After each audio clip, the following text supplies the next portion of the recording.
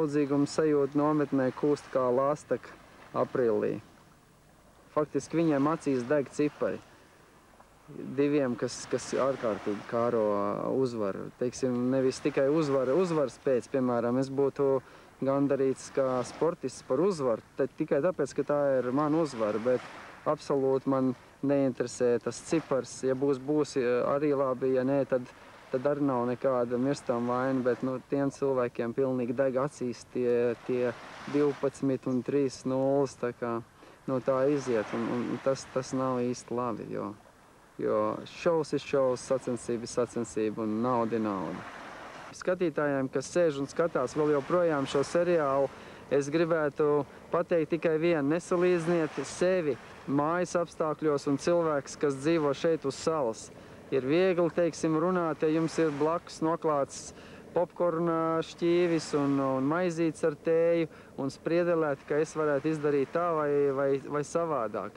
Reālie apstākļi ir pilnīgi savādāk nekā tas izskatās varbūt televīzijā, tā kā uzņemiet viss, kā tas ir un jūtiet līdz saviem favorītiem.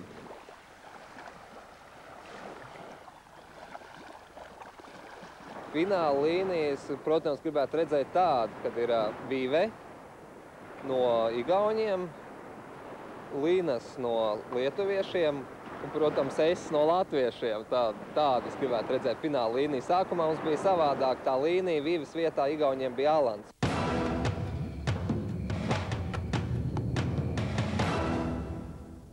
Šodien Robinsona spēle.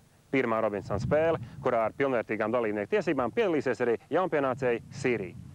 Šīs spēles uzvarētājs šodien dabūs pamatīgi noskrieties, jo spēlē paredzēts ceturdaļfināls, pusfināls un fināls. Kas tad būs jādara ceturdaļfinālā? Dalībnieki sadalīs pāros, un katram pie kājām tiek piesies šāds te virvīts, un viens otru šim te virvītēm mēģina nogāzt. Kurš pirmais nogāž otru, tas arī ir ceturdaļfinālā uzvarētājs. Bet, ja jūs pamanījāt, dalībnieki ir septiņi. Tad trīs pāri, viens liekas. Izlos kārtībā izlozējām, ka ceturtajfinālā nepiedalīsies Vīve. Viņa pat taisno nonāk pusfinālā. Kas būs jādara pusfinālā? Pusfinālā ir ļoti it kā primitīva vienkārši spēle, taču jums šī bumbiņa ar šo striķīšu palīdzību jādabū iekšā tajā caurumā. Es domāju, tas ir diezgan grūts uzdevums. Un visbeidzot, fināls. Šeit trepīšu augšgalā atrodas šīs dienas Robinsona balva. Kurš pirmais tiks augšā, tas arī būs uzvarētājs. Bet trepēm nav kāpšļi. Lai kāpšļus iegūtu, jums tie ir jāizrok no zemes. Viens vienā čupā, otrs otrā. Kurš pirmais izrakst un uzrāpsies augšā, tas arī būs šīs dienas Robinsona spēles uzvarētājs.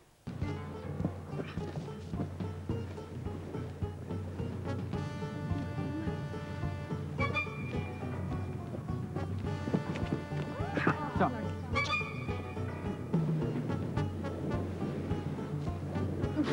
Es ir rāk, rāk. Kustās. Labo kāju ceļ augšā solim var vilkt.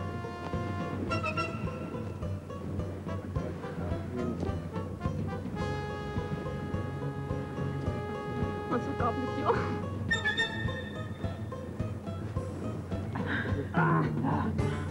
Nu, blīd.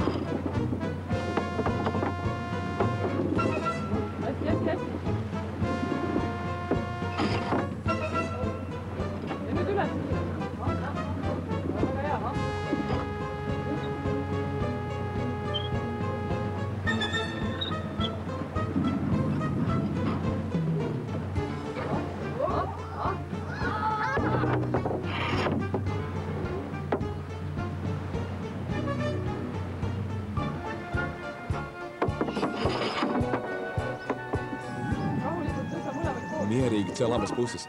Jā,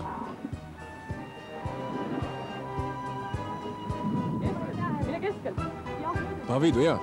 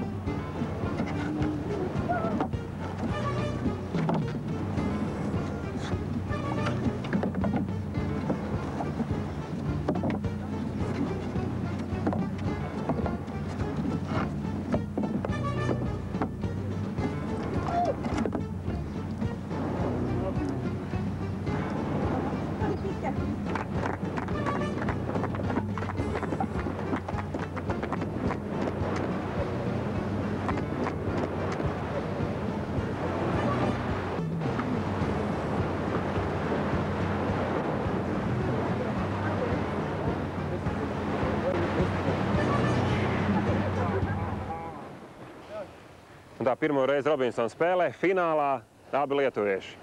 Un šoreiz stiprākais izrādījās Linas. Jā, Lūk, un tā kā jums pārējiem noteikti jāatcerās, ka nākamajā sapulcē jūs nedrīkstat viņu balsot ārā, viņam kā šobrīd ir, viņš ir sarkanajā grāmatā, tā kā esiet prātīgi, un, bet viņš savukārt pa jums drīkst balsot, tā kā esiet laipni pret viņu. Tiekamies salas sapulcē.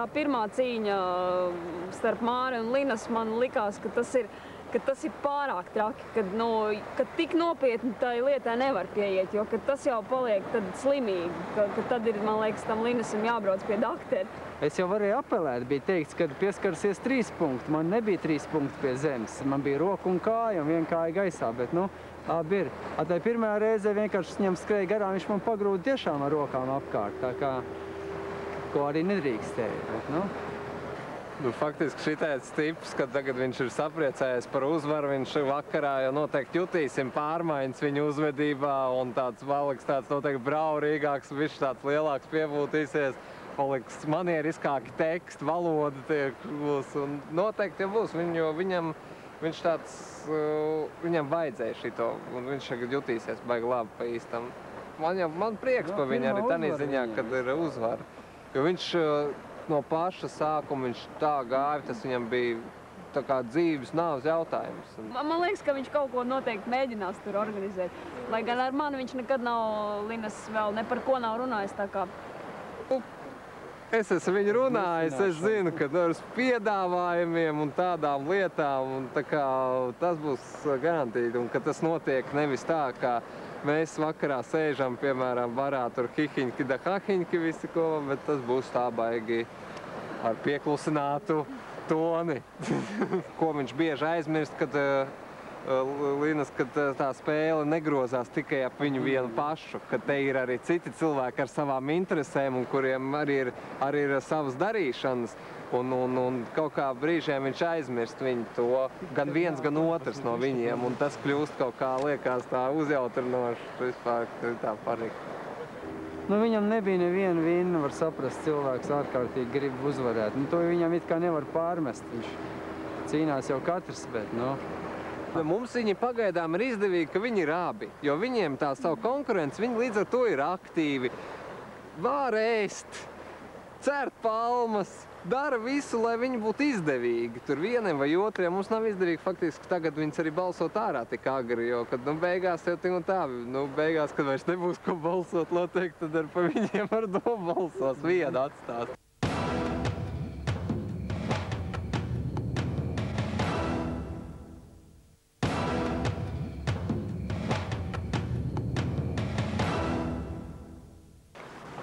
Šobrīd vislielākie, eh, nu, ja varētu teikt, intriganti, tad, tad tie ir lietuvieši. Un man ir, nu, vismaz, man, man it kā viņi, man ir tikai Linas mēģinājis tur kaut ko uzsākt, kaut kādas sarunas, bet cik es tā jūtu no tādām, nu, sarunām ar pārējiem, vienkārši tādām sarunām, es saprotu, ka viņi ir ļoti sakrituši uz nerviem ar to, ka viņi visu laiku mēģina kaut ko pīt, kaut kādas intrigas sarunāt tu man palīdzi nobalsot par to, un es tev pēc tam palīdzēšu par to, un pēc tam aiziet pie otru un viņam to pašu stāst. Nu, viņi tur pina un bija.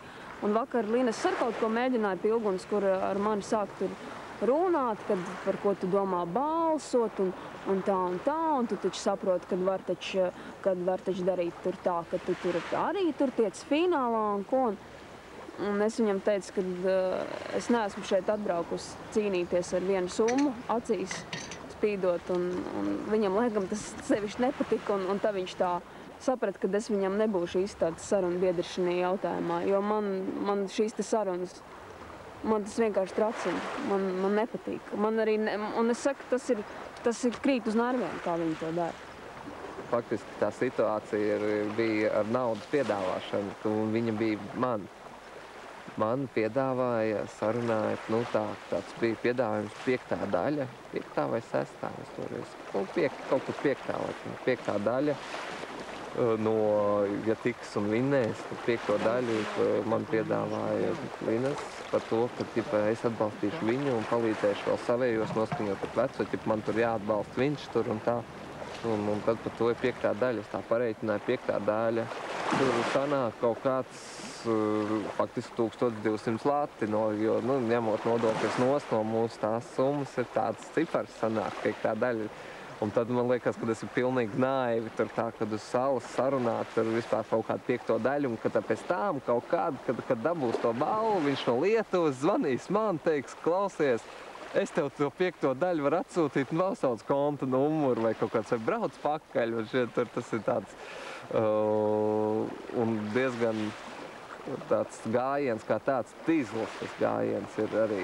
Es esmu padzīvojis dzīvē, un es zinu, ka tā nenotiek. Tad, kad cilvēks, viņš var solīt uh, pasaules zvaigznes un mēnesi, bet tad, kad nauda guļ rokās, viņi pielīp kā līme turklāt, un, un katrs atrautais banknotes gabaliņš ir tā kā smeldzīgs duns sirdī. Tā kā es domāju, ka drīzāk beigsies ar krāpšanu, jo pateiks, nu ko, spēle tā bija. Tas bija mans viltīgais gājiens un paliec bez šat.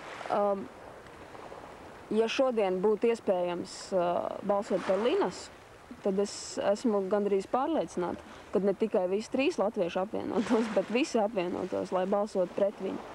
Jo viņš ir tas, kas šobrīd, man liekas, visvairāk uh, nu, jā, krīt uz nerviem visiem ar, ar savām intrigām, ar, ar savām uh, izrīkošanām. Viņš uzvedās tā kā tāds brigadieris vai grupas vadītājs. Un tas, man liekas, viss traucē. Bet uh, šī ir tā reize, kad viņu, kad, kad viņu nevar balsot. Un savukārt, uh, nu, man personīgi kā, es būtu priecīgāk, ja, ja Lietuvietis Vidmans tiktu finālā. Teiksim, tāpēc es arī, ne, nu, viņš gan ar mani par to nerunāja, Linas ar mani par to nerunāja, bet tāpēc es negribēju iesaistīties nekādā intrigā, kad es esmu gatava balsot par, par Vidmantu, un tad viņš man tur kaut ko palīdzēs. Kā mēs zinām, neviens neko nepalīdzēs, un, un, un, un ja te arī kāds kādam solīt kaut kādas tur naudas vai ko, tad arī tāpat viss ir skaidrs, ka ko līdz tev tā, tā balva būs, neviens neko ar nevienu nedalīsies. Ir vienošanās vakar, kas bija, kad uh, tur Lietuvas puiši pa, palīdzēs man, es palīdzēšu viņiem. Tur tāda tika vienošanās, kad uh, es šodien personīgi balsošu pa bāru, tādā vīzē, kad, nu, tur, jo man nav izdevīgi, kad man ir komandas biedri, man pilnīgi tas nav izdevīgi. Faktiski ir abos variantos es balsošu par sievieti. Viens variants varētu būt, kad es balsoju pa igauņu sievieti, pa vivi, vai, nu, vai par mūsu komandas sievieti, par Annu. Jo viņas jau ir apvienojušās, tā kā viņas jau ir kā viens spēks. Tā kā tur, tur no tā var izrietēt arī visas sekas. Tā kā... Varianti man ir vai nu Igaunieta Sīrija, vai nu Oskars. Nu, par Siriju es balsotu, teiksim, principu pēc, bet par Oskaru uh, varētu teikt tā, ka man ir, kad es jau tos viņu stāstus zinu gandrīz no galvas, un, un, un tā kā viņi atkārtojās visu laiku, tad man tas nedaudz ir, nedaudz sāk apnikt, un gribās to pagriezt to kloķīt un izslēgt ārā.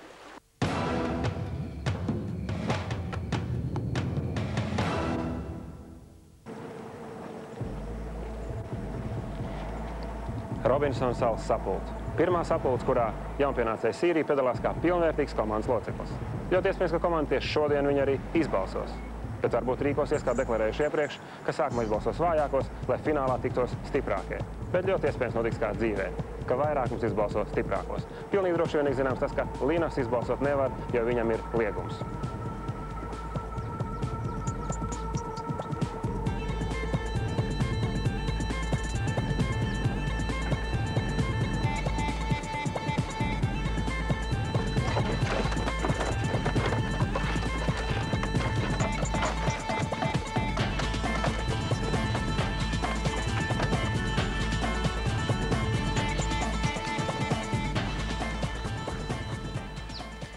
Sveiki, Robinsoni!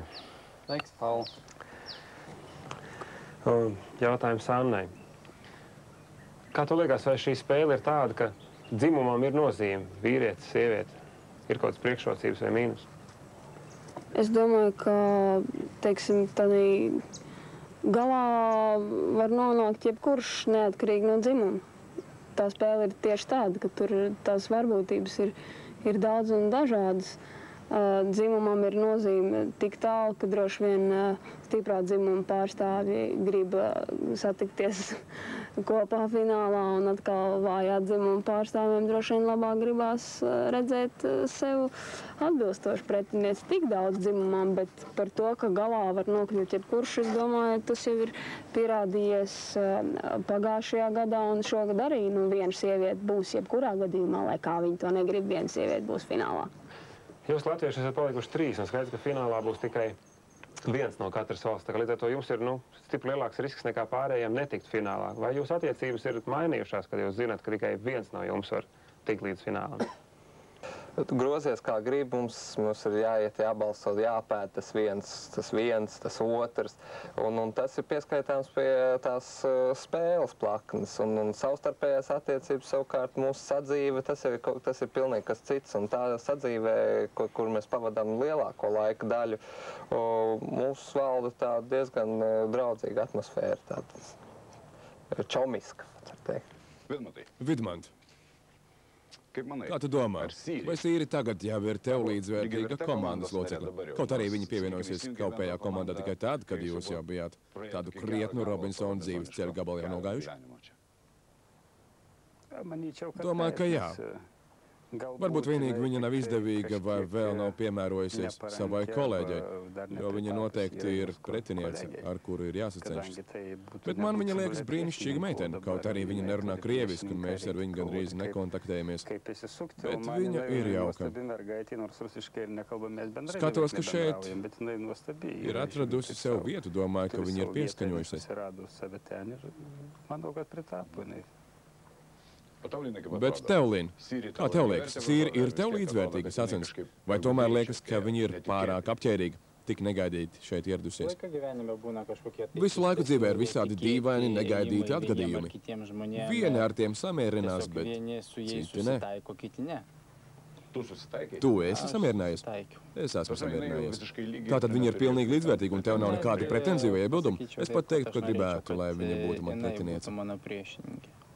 Ar jums svarbi- Vai jums ir svarīgs citu komandas biedru viedoklis par jums? Viņu simpātijas, antipātijas, vai viņiem jūs patīkat vai nē, vai tam ir kāda nozīme? Vai tas jums ir svarīgi, vai jūs tikai ejat savu ceļu taisni uz fināla sacensībām? Tas ir svarīgi tikai izdzīvošanas ziņā. Tas ir balsošanā, salas sapulcē, kurā mēs visi tagad sēžam. Citādi šo cilvēku, kuri ir man blakus, šīs grupas cilvēku, kuri ir man blakus viedoklis, man ir nulle. Faktiškai Kaut gan faktiski tas nemaz nav tik svarīgi. Svarīgāk ir izdzīvošana un jābūt cik iespējams ir, saliedētiem. Lai, ja ceļi krustojas, nebūtu kauns paskatīties cilvēkam acīs, jo esi bijis cūka. Nebūt gėda, jeigu kada keliai gyvenime persikirstų, kad nebūt gėda žmogui į akis pažiūrėti, kad nebuvai keuliai.